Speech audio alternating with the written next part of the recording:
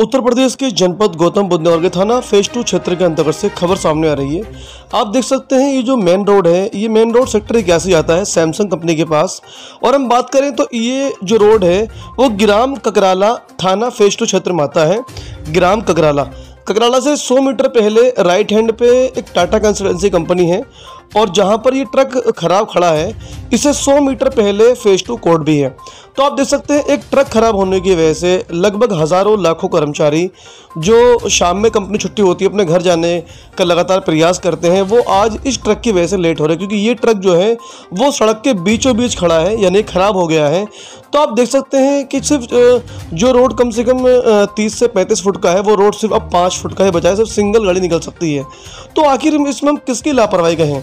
Noida traffic police की लापरवाही कहें, नोएडा पुलिस की लापरवाही कहें ट्रक मालिक की लापरवाही कहें, किसकी लापरवाही कहें? अगर ट्रक मालिक या ट्रक ड्राइवर अगर टाइम पे ट्रक की सर्विस कराता या टाइम पे ट्रक का मेंटेनेंस चेकअप कराता तो ये ट्रक आज खराब नहीं होता। आप देख सकते हैं ये ट्रक जो है, वो सीधे हाथ पे यानी कि टाटा कंसल्टेंसी की तरफ़ से होकर सेक्टर इकहत्तर जाने वाले रोड पे था।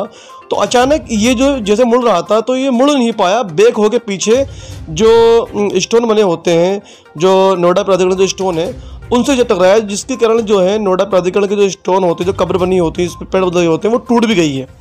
तो अब इसमें किसकी लापरवाही कहें? फ़िलहाल मैंने इस घटना की सूचना के बीचों बीच एक ट्रक खड़ा है, जिसकी वजह से जाम लगा हुआ है। आमजन के लोगों का भी समस्या हो रही है तो मैंने जैसे ही ट्वीट किया तो नोएडा ट्रैफ़िक पुलिस ने तुरंत मेरे ट्वीट को संज्ञान में लेते हुए तुरंत मौके पर थाना फ़ेज़ टू के पुलिसकर्मियों को भेजा। वे नोएडा ट्रैफ़िक पुलिस के भी काफ़ी लोग मौजूद थे यहाँ पर तो उन्होंने तुरंत आकर जो है इस ट्रक को हटाने का प्रयास किया और हटाने के बाद जो है फ़िलहाल रास्ता खुलवा दिया गया था।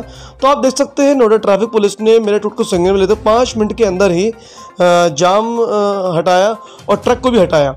तो इसमें ट्रैफ़िक पुलिस की कोई भी लापरवाही नहीं है। इसमें लापरवाही सिर्फ़ और सिर्फ़ ट्रक मालिक की है, क्योंकि ट्रक खराब होने से ट्रैफ़िक पुलिस की क्या लापरवाही हो सकती है?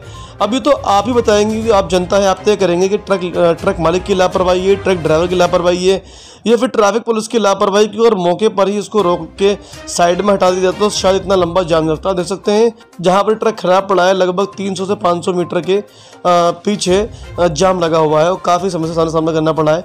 फ़िलहाल जो है, थाना फ़ेज़ टू के पुलिसकर्मी मौजूद है, जो जाम को तो आप मुझे कमेंट बॉक्स में बताना कि इसमें किसकी लापरवाही थी, और अगर आपको वीडियो पसंद आया तो वीडियो को लाइक, शेयर ज़रूर करें, ताकि आगे से ट्रक वाले अपनी लापरवाही ना करें और ट्रक को मेंटेन रखें टाइम से सर्विस कराएँ टाइम से इसका जो है चेकअप कराते रहें, ताकि ट्रक जो है रास्ते में ख़राब ना हो और जाम की समस्या ना बने। तो वीडियो देखने के लिए बहुत बहुत शुक्रिया। धन्यवाद। दोस्तों, अगर आपको हमारा वीडियो पसंद आया तो हमारे वीडियो को लाइक करें। ज़्यादा से ज़्यादा हम दोस्तों रिश्तेदारों में शेयर करें।